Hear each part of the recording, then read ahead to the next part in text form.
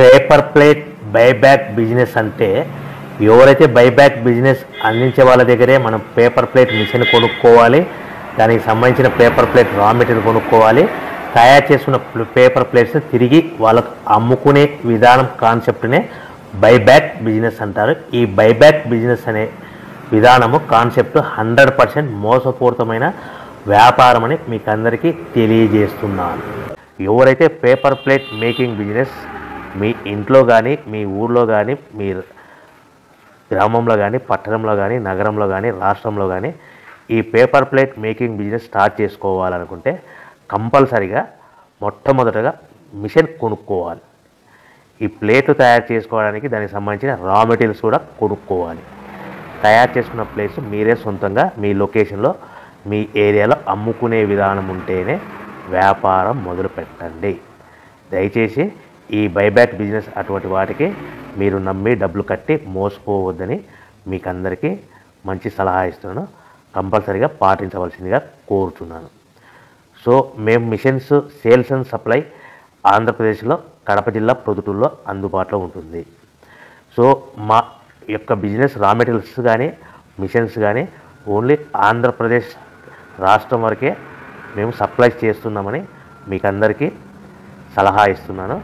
కోరుతున్నాను ఎవరైతే కొత్త మిషన్ కొనుక్కోవాలి అనుకుంటున్నారో మన మిషన్ కొనుక్కున్న తర్వాత ఇంటి కరెంటు మీటర్ కాకుండా దీనికి సపరేట్గా commercial category two single phase meter మనం కంపల్సరీగా తీసుకోవడం వలన భవిష్యత్తులో మనకి ఎలక్ట్రిసిటీ డిపార్ట్మెంట్ నుంచి మీకు ఎలాంటి ప్రాబ్లమ్స్ ఉండవని మీకు ముఖ్య సలహా ఇస్తుంది. ఈ వీడియోలో మిషన్ యొక్క ప్రైస్ డీటెయిల్స్ మీకు ఎక్స్ప్లెయిన్ చేయలేకపోతున్నాము.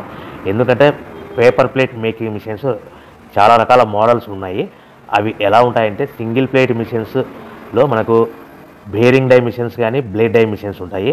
డబల్ డై మిషన్లో bearing die machines blade die machines ఉంటాయి. So buffet plate machines hotel parcel కట్టే మిషన్స్ ఇలా రకరకాల వేరియన్స్ డిఫరెంట్ డిఫరెంట్ మోడల్స్ ఉంటాయి కాబట్టి మీకు పూర్తిగా ప్రైస్ డీటెయిల్స్ ఎక్స్ప్లెయిన్ చేయాలంటే ఈ వీడియోలో మీకు చెప్పలేకపోతున్నాము. సో దయచేసి మీకు ఏ రకం మిషన్ కావాలో ఎలాంటి టైప్ ఆఫ్ మిషన్స్ కావాలో స్క్రీన్ మీద కనపడుతున్న నా మొబైల్ నెంబర్ కాంటాక్ట్ చేసి డీటెయిల్స్ తెలుసుకోవాల్సిందిగా కంటిన్యూ వీడియోస్లో చివరి వరకు చూడండి. ఏ ఏ మిషన్లో ఏ ఏ ప్లేట్లు తయారు చేసుకోవచ్చు ఏ ఏ మిషన్లో ఏ ఏ ప్లేట్లు తయారు చేసుకోలేమనేది మీకు క్లియర్గా ఎక్స్ప్లెయిన్ చేస్తాను. సో పేపర్ ప్లేట్ మేకింగ్ మిషన్లో పేపర్ ప్లేట్లు మాత్రమే తయారవుతాయి. పేపర్ కప్పు మిషన్లో పేపర్ కప్పులు మాత్రమే తయారవుతాయి. పేపర్ ప్లేట్ మిషన్లు వేరు పేపర్ కప్పులు మిషన్లు వేరు అని మీకు అందరికీ తెలియజేస్తున్నాను. సో మనకు పేపర్ ప్లేట్ మిషన్లో ఖర్చులన్నీ పోను మనకు ప్రతి ప్లేట్ మీద పది పైసల నుంచి ఇరవై పైసల మార్జిన్ ఉంటాయి. సో మనకు రా మెటీరియల్ ఎంత కాస్ట్ పడుతుంది? సో మనకు రా మెటీరియల్ ఫ్యాక్టరీ నుంచి మన ఊరికి మన తీసుకోవడానికి తెచ్చుకోవడానికి ప్రతి షీట్కి ఆటోలో తెచ్చుకుంటే ఎంత ఛార్జెస్ పడతాయి? సో తెచ్చుకున్న షీట్ను ప్లేట్లుగా తయారు చేయాలనుకుంటే పవర్ బిల్ ఎంత పడుతున్నది? మీకు క్లియర్గా కంటిన్యూ వీడియోస్లో ఎక్స్ప్లెయిన్ చేయడం జరిగింది. దయచేసి ఈ వీడియోని చివరి వరకు చూసి మీకు నచ్చినట్లయితే లైక్ చేయండి షేర్ చేయండి కామెంట్ చేయండి సబ్స్క్రైబ్ చేయండి. మరిన్ని మోర్ వీడియోస్ కోసం బెల్ ఐకాన్ బెల్ సింబల్ను ప్రెస్ చేయవలసిందిగా కోరుతున్నాను paper plate making machine semi automatic single line paper plate making machine అంటారు. Semi automatic buffet plate making machine అంటారు. Hydraulic paper plate making machine అంటారు. Hydraulic buffet paper plate making machine అంటారు. So మనం ఈ machine కొనుక్కున్న తర్వాత దీనికి వచ్చే వన్ హెచ్పి మోటార్ని మనం ఇంటి కరెంటు మీటర్ కాకుండా దీనికి సపరేట్గా commercial category two single phase meter తీసుకోవడం వలన భవిష్యత్తులో ఎలక్ట్రిసిటీ డిపార్ట్మెంట్ నుంచి మీకు ఎలాంటి ప్రాబ్లమ్స్ ఉండవని మంచి సలహా ఇస్తున్నాను పాటించవలసిందిగా కోరుతున్నాను సో ఈ semi automatic hydraulic single line buffet plate making మిషన్లో కేవలము బఫే ప్లేట్లు మాత్రం మాత్రమే తయారు చేసుకోగలుగుతాము. ఈ మిషన్లో కేవలం మందం ప్లా మందం లావు దొడ్డు ప్లేట్ మాత్రం బొఫే ప్లేట్ తయారు చేసుకోగలుగుతాము. సో ఈ మిషన్లో ఎలాంటి టిఫిన్ ప్లేట్లని డోనా కప్పులని ప్రసాదం కప్పులని స్నాక్స్ ప్లేట్స్ అని టీ కప్పులని తయారు చేసుకోలేమని మీకు అందరికీ సలహా ఇస్తున్నాను. సో ఈ బఫే ప్లేట్లు ఏ విధంగా తయారు చేసుకోవచ్చు అంటే కన మనకు రా మెటీరియల్ షీట్ ఇలా ఉంటుంది. ఈ షీట్ని డై మధ్యలో పెట్టి గేర్ వెనక్కి లాగితే కన ఒకటి రెండు మూడు సెకండ్ లాగిన తర్వాత అదే గేర్ను ముందుకు నెట్టడం వల్ల డై కిందికి వస్తుంది. ఈ విధంగా తయారైన ప్లేట్ చేసుకోవచ్చు. సో ఈ బొఫే ప్లేట్లు మనం ఎన్ని తయారు చేసుకోవచ్చు అంటే కనుక నిమిషానికి ఐదు నుంచి పది ప్లేట్లు తయారు చేసుకోవచ్చు. అది కూడా ఆపరేటింగ్ చేసే ఆపరేటర్ మీద ఆధారపడి ఉంటుంది.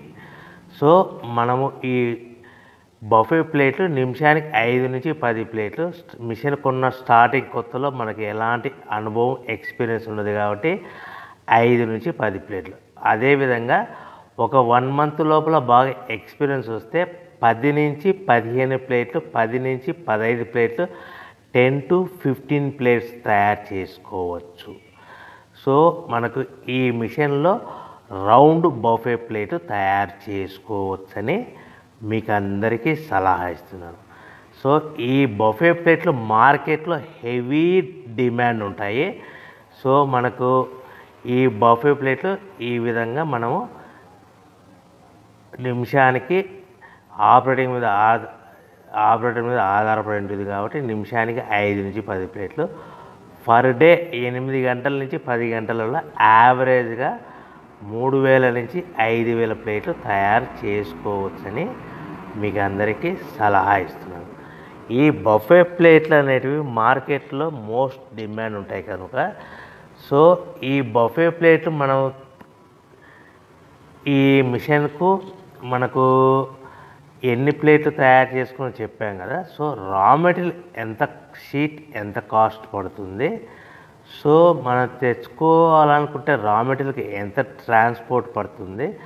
తెచ్చుకున్న రా మెటీరియల్ను మన ప్లేట్గా తయారు చేయడానికి పవర్ బిల్ ఎంత పడుతుంది అనేది మీకు క్లియర్గా ఎక్స్ప్లెయిన్ చేస్తాను. సో మనకి ఇలాంటి బఫే ప్లేట్లు రా మెటీరియల్ షీట్ అనేది పదమూడు బై పదమూడు సై ఇంచెస్ గల షీట్ ఉంటుంది. ఆ షీట్ను మనం మిషన్లో పెట్టి ఆపరేటింగ్ చేస్తే పన్నెండు ఇంచుల ప్లేట్ వస్తుంది. పన్నెండు ఇంచుల ప్లేట్ వస్తుంది. ఈ ప్లేట్ను మనకు షీట్ వచ్చేసి మీకు రేట్లు అనేటివి వారానికి ఒకసారి పది రోజులకు ఒకసారి స్వల్పంగా పెరుగుతూ ఉంటాయని మీకు అందరికీ సలహా ఇస్తున్నది. ఈ రోజు ఉన్న రేట్లు ఈ వారం ఉన్న రేట్లు next week next day next వారం ఉండవని మీకు అందరు తెలుసుకోవాల్సిందిగా తెలియజేస్తున్నారు మీకు అర్థం అవ్వడానికి మాత్రమే ఇప్పుడు రేట్లు మీకు ఉదాహరణకు చెప్పగలుగుతున్నాను. సో ఈ బఫే ప్లేట్ షీట్ కాస్ట్ వచ్చేసి పదమూడు బై పదమూడు గల బ- షీట్ కాస్ట్ వచ్చేసి మనకి సుమారుగా ఈరోజు కాస్ట్ అయితే కనుక రూపాయ యాభై రెండు పైసలు వన్ పాయింట్ ఫైవ్ టూ రూ వన్ ఫిఫ్టీ టూ పైసా ఉంది.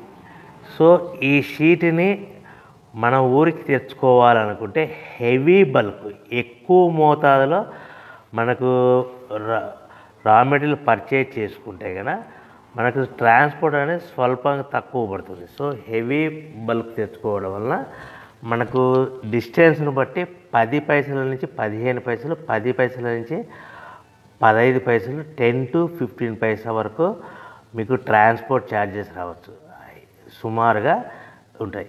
సో ఈ షీట్లు అనేటివి మనకు ఒక బండిల్లో రెండు వందల పది ఉంటాయి. ఒక బండి ఒక షీటు నుంచి మనకి ఒక బండిల్లో రెండు వందల పది షీట్లు ఉంటాయి అలా మనం తీసుకున్న బండిల్ని బట్టి వెహికల్ని బట్టి మనకు ఫ- ఫర్ ఎగ్జాంపుల్ అర్థం అవడానికి అశోక్ లైలాండ్ బండ్లు అయితే కనుక వన్ సెవెంటీ బండిల్స్ అంటే బండిల్కి ఎన్ని వస్తాయి? రెండు వందల పది షీట్లు. అట్లా వన్ సెవెంటీ బండిల్స్ పడతాయి. అట్లా హెవీ బల్కులు తీసుకుంటే మనకు ట్రాన్స్పోర్ట్ కొద్దిగా తక్కువ అవుతుందని తెలియజేస్తున్నాను సో ఎంత దూరం ఉన్నా ఎంత డిస్టెన్స్ ఉన్నా పది పైసల నుంచి ఇరవై పైసల మధ్యలో మనకు ట్రాన్స్పోర్ట్ ఉంటుందని మీకు ఒక షీట్కు ట్రాన్స్పోర్ట్ ఛార్జ్ షీట్ పడతాయని మీకు అందరికీ క్లియర్గా అర్థం చేస్తున్నా. అంటే మనకు షీట్ ఎంత కాస్ట్ పడింది one fifty two paisa. Transport ఎంత పడింది ఫర్ ఎగ్జాంపుల్ టెన్ పైసా. అంటే one one rupee sixty two పైసాలో మన ఇంటికి చేరింది. సో మనం ఇలాంటి ప్లేట్లు తయారు చేసుకోవాలంటే మనకు పవర్ బిల్ ఎంత పడుతుందంటే సుమారుగా మూడు పైసల నుంచి ఐదు పైసలు. అంటే మనం సింపుల్గా మూడు పైసలు వేసుకుందాం. One fifty two sheet cost transport మన షీట్ తెచ్చుకోవడానికి ఫ్యాక్టరీ నుంచి మన ఊరికి మన ఇంటికి తెచ్చుకోవడానికి పది పైసలు పవర్ బిల్లు మూడు పైసలు. అంటే ఒకటి యాభై ఐదు పైసలు ప్లస్ ట్రాన్స్పోర్ట్ పది.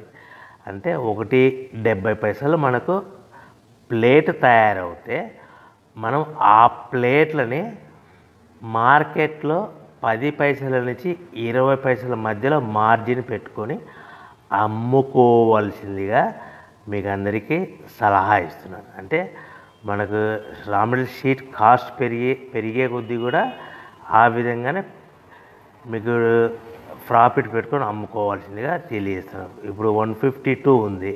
Next time one point six two ఉంది.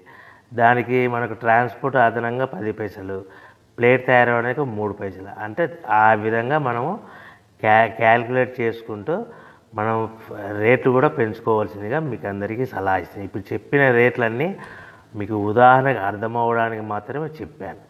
సో మనకు ప్లేట్ వన్ రూపీ సెవెంటీ పైసలు ప్లేట్ తయారైతే మనము వన్ రూపీ ఎయిటీ పైసా కానీ వన్ రూపీ నైంటీ పైసా కానీ సుమారుగా టూ రూపీస్ లోపల అమ్ముకోవచ్చని మీకు అందరికీ సలహా ఇస్తున్నాను.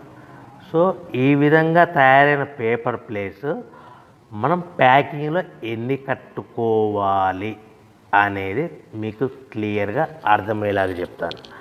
సో మనం ఇలా తయారు చేసుకున్న పేపర్ ప్లేస్ ఒక్కొక్క ఏరియాలో ఒక్కొక్క రకంగా ప్యాకింగ్ కడతారు. ఫర్ ఎగ్జాంపుల్ పదిహేను ప్లేట్లు కట్టమన్నారు అనుకోండి థర్టీన్ ప్లేట్స్ కానీ ఫోర్టీన్ ప్లేట్స్ కానీ పదమూడు ప్లేట్లు కానీ పద్నాలుగు ప్లేట్లు కానీ ప్లస్ కవర్. కవర్ అనేది పదహారు ఇంచులు పట్టి సిక్స్టీన్ బై సిక్స్టీన్ కవర్ ఉంటుంది. ఆ కవర్లో పదిహేను ప్లేట్లు కానీ ఆర్డర్ మీద మనకు పదమూడు ప్లేట్లు కానీ పద్నాలుగు ప్లేట్లు కానీ ప్లస్ కవర్. కవర్ కూడా ప్లేట్ కింది కౌంట్ అవుతుంది. ఇరవై ప్లేట్లు అన్నారు అనుకోండి పద్దెనిమిది ప్లేట్లు ప్లస్ పద్దెనిమిది ప్లేట్లు కానీ లేదంటే పంతొమ్మిది ప్లేట్లు కానీ ప్లస్ కవర్. కవర్ కూడా ట్వంటీ ప్లేట్ కింద కౌంట్ అవుతుంది. ఈ విధంగా మనకు ఎన్ని ప్లేట్లు కట్టామన్నారు అనుకోండి ఆ ఏరియా డిమాండ్ని బట్టి మీ లొకేషన్ డిమాండ్ని బట్టి మనకు ఒకటి రెండు ప్లేట్ తక్కువ కట్టుకోవాల్సిందిగా మీకు అందరికీ సలహా ఇస్తుంది ఇరవై ఐదు ప్లేట్లు కట్టమన్న ఈ వీడియోని చివరి వరకు చూసినందుకు ధన్యవాదములు. Thanks for watching this video ఈ ఈ వీడియోలో మిషన్ యొక్క టెక్నికల్ స్పెసిఫికేషన్ డీటెయిల్స్ కానీ రా మెటీరియల్స్ యొక్క ఎగ్జాంపుల్స్ ప్రైస్ లిస్ట్ డీటెయిల్స్ కానీ మనము ఫ్యాక్టరీ నుంచి రా మెటీరియల్స్ మన ఊరికి ఆటోలో తెచ్చుకుంటే ప్రతి సీటుకి ఎంత ఛార్జెస్ పడతాయని విషయం కానీ తెచ్చుకున్న రా మెటీరియల్ షీట్లని ప్లేట్లుగా తయారు చేయడానికి పవర్ బిల్ ఎంత పడుతున్న విషయం కానీ తయారు చేసుకున్న ప్లేట్స్ మనం ఒక ప్యాకింగ్ కవర్లో ఎన్ని ప్లేట్లు కట్టుకోవాలనే వివరాలు కానీ మీకు పూర్తిగా నచ్చినాయని అని అనుకుంటున్నాను. ఒకవేళ మీకు పూర్తిగా నచ్చకపోతే దయచేసి స్క్రీన్ మీద కనపడుతున్న నా మొబైల్ నెంబర్ కాంటాక్ట్ చేసి పూర్తి వివరాలు తెలుసుకోవాల్సిందిగా కోరుచు. అందరికీ ధన్యవాదములు.